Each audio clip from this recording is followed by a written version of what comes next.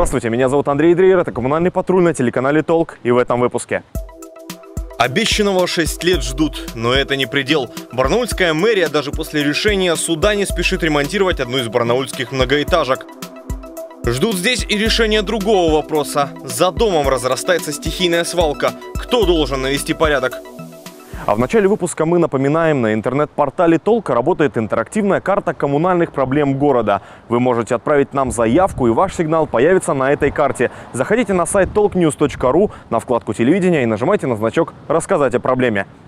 Можно следить за статусом вашей геометки. Она будет менять цвет с красного, обозначающего сигнал коммунального бедствия, на желтый, когда коммунальный патруль принял в разработку эту тему, и до зеленого, если соответствующие службы эти проблемы решили, или черного, когда ситуация не изменилась.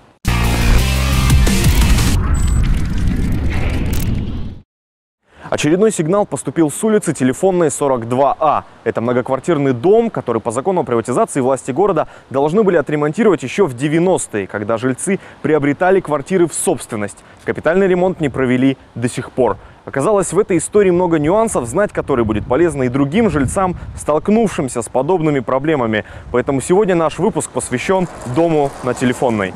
Фундамент рушится, он и так там, вот, я не знаю, сколько лет уже тому назад уже приезжали, смотрели, там трещины идут по всему периметру этого фундамента.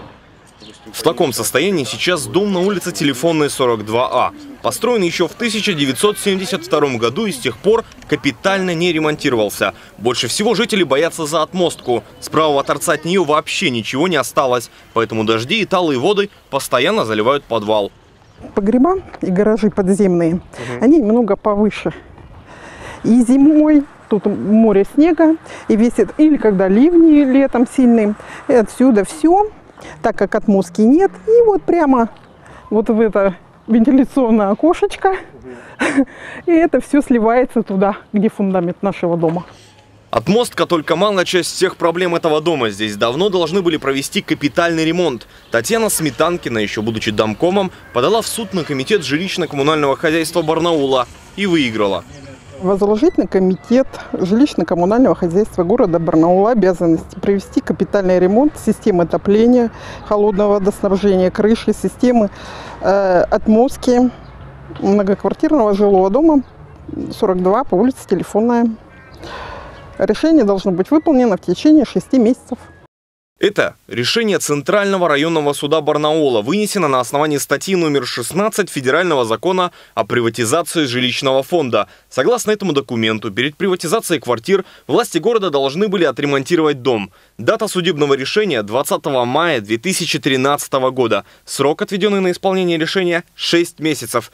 Администрации не хватило даже 6 лет. Шесть лет прошло с решения суда. Э, хоть что-то было сделано? Нет, ничего. То есть за все это время вообще ничего нет? Нет, они только приходят каждый год, смотрят, составляют там документы какие-то, и на этом все. То есть ну, они ежегодно приходят и Не, да, смотрят? периодически приходят, потому что я пишу, и они мне отписываются, и каждый год мне говорят, ну, в следующем году, в следующем году и так далее. Капитальный ремонт откладывается, дожди продолжают подмывать фундамент. Но от белого света скрыты и другие проблемы – трубы отопления – Одну воду мы заменили, собирали деньги, мы ее поменяли на полипропилен, угу. а вот это вот то, что по решению суда. Вот в таком состоянии, с такой ржавчиной. Годами жильцы дома непрестанно собирают деньги, вызывают слесарей и сварщиков, хотя тяжело даже поверить, что трубы в таком виде все еще пригодны для ремонта. И вы чините тоже постоянно здесь какие-то ну, сварки? Ну а как же? Все это бьет по карману жителей. Деньги утекают, как вода. Подвал – бедствие, которое скрыто от глаз, но и самая серьезная проблема, если о ней не знать, тоже незаметно – это крыша. Вот это все, сейчас вот где белые кирпичи, оно это опять все... настолько промокло? Да. Это все вот просто до четвертого этажа уже доходит. Обновление кровли обходится дороже всего. В итоге, чтобы проводить текущие ремонты, жильцы добавляют к ежемесячному тарифу по 2 рубля и 70 копеек за один квадратный метр. Прямо вот осенью его сделали перед зимой. Все такие были довольны, но вот весной все по новой. Угу. А так только в этом подъезде или это периодически везде бывает? Периодически везде. Решение суда должно было помочь жителям, а сделало их заложниками ситуации. Деньги, которые вот там у нас почти миллион денег накоплено на спецсчете на капитальном ремонте, но мы их взять не, не можем по закону, потому что у нас есть решение суда. То есть э, фонд капитального ремонта не выделяет деньги тем домам, которые э, выиграли суды. Комитет по ЖКХ, который должен был выполнить решение суда, ответил так. Учитывая сложившуюся судебную практику, при которой количество исполнительных производств о возложении обязанностей по выполнению капитального ремонта увеличивается, выполнить капитальный ремонт данного дома в сроки, установленные решением суда, не представляется возможным. В переводе это значит «слишком многие жалуются, всем не поможешь». А между тем времени ждать нет, потому что дом в таком состоянии, что уже угрожает жизни, пока только в отдельных квартирах. Бежала по потолку и по стенам везде вода. Вот. Все, только сделали ремонт, все отклеилось. Вот. Шкаф чуть не упал на меня, я его еле-еле сдержала. Это самое руками, потому что все эти штыри. А шкаф, шкаф, шкаф как мог упасть? Из-за чего? Так штырь оборвался, вон, видишь? А штукатурка. Там, а, там все мокрое, и все оторвалось. То есть настолько размокло из-за того, да, что бежала Да, вода? да. Так она до сих пор вот сыпется, я Да. касаюсь. Настолько там она Да. вся. Между тем, дому напротив, где крыша кажется еще хуже, удалось добиться ремонта по точно такому же решению суда. По словам жильцов, проектно-сметные документы уже подготовлены. Для дома на телефонной 42А сроки капремонта постоянно передвигают. Они ссылаются вначале на одну программу, там разработана такая-то программа, и вроде ваш дом включен на 16 год. Потом, ой, у нас другая подпрограмма, вы уже на 18 год. Потом третья программа, вы уже на 19 но вот сейчас 19 тишина. Ну, теперь, наверное, еще на пару лет сдвинут, ну, так и будет. Действительно, документы говорят о том, что с датой контролирующие ответственные организации определиться никак не могли, да и вообще запутались. Во-первых, администрация города пишет, что ремонт будет в 2021, прокуратура, что в 2019 году. Во-вторых, прокуроры края и вовсе провели проверку управляющей компании, хотя заявление жители писали на комитет жилищно-коммунального хозяйства. Мы спросили специалистов из самого комитета, когда все-таки капитальный ремонт, который они обязаны провести. Оказалось, ставка прокуратуры на 2019 год была слишком оптимистичной. Этот объект включен на 22-23 годы. В 2022 году будет разработана проектно-сметная документация на выполнение ремонта. В 2023 году выполняться работы, люди обращаются в суд. И мы вынуждены исключать из регионального оператора при наличии судебного решения те, те, тот перечень работ, которые люди могли бы выполнить в рамках регионального оператора. Это представитель комитета ЖКХ говорит о том, что есть еще одно юрлицо, которое может провести ремонт дома. Региональный оператор Фонд капитального ремонта многоквартирных домов. Его учредитель Минстрой, и на нем в крае лежат основные объемы работ по проведению ремонтов.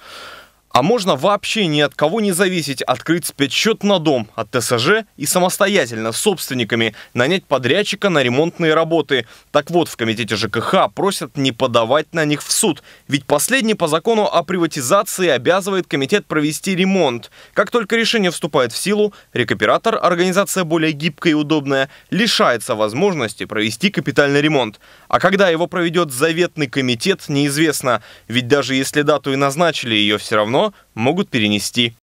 Ведь если решение не исполняется, какое-то время должны приставы заняться этим делом. О, они занимаются, они периодически, каждые полгода продляют, штрафуют на 50 тысяч, продляют, штрафуют на 50 тысяч, продляют. Там уже, по-моему, около полмиллиона денег они взяли только одного штрафа. Все, толку нет все равно. Многочисленные санкции от судебных приставов не помогают. Де-факто штрафы, выплачиваемые администрацией города, это просто перетекание денег из бюджета Барнаула в бюджет края. На что рассчитывает жителям телефонной 42А? Дождутся ли они ремонта хотя бы в 2023 году? Ответить на этот вопрос пока никто не может.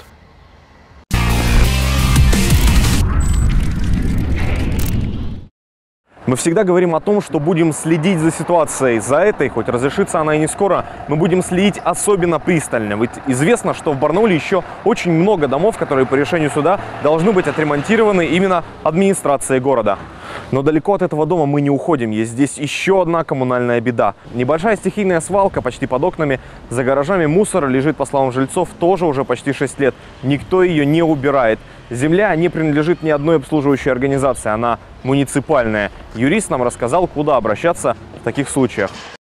Есть Минприрода, есть природно-охранная прокуратура. Это как раз те организации, которые курируют вопросы, связанные с мусором. И, безусловно, администрация. Я гражданам, которые обнаружили у себя на территории стихийную свалку, в первую очередь советую обратиться в администрацию района. Если администрация вас не услышала, смело идите в прокуратуру.